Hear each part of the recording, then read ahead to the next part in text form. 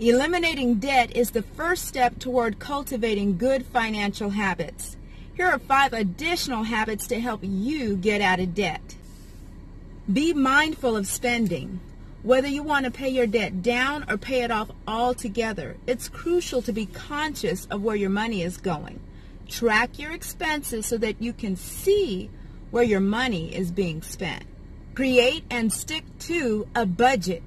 Create a realistic budget based on your monthly expenses. And don't forget to include any additional payments you plan to make toward paying down your debt.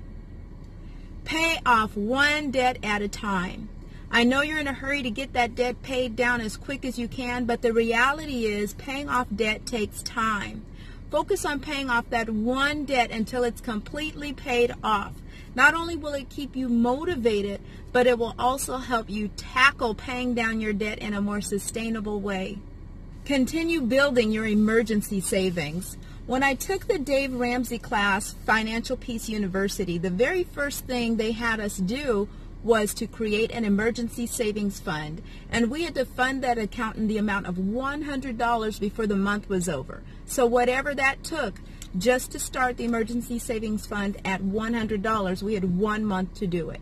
So decide what you want your emergency fund account to be and start funding that account along with planning your budget. Create a line item in your budget for savings, whether it's $5 a month, $25 a month, or $100 a month. Begin funding your emergency savings account. Finally, keep contributing toward your retirement.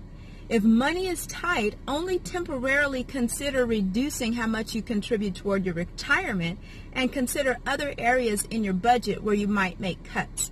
I would also say look for other opportunities to increase your income to contribute toward your retirement.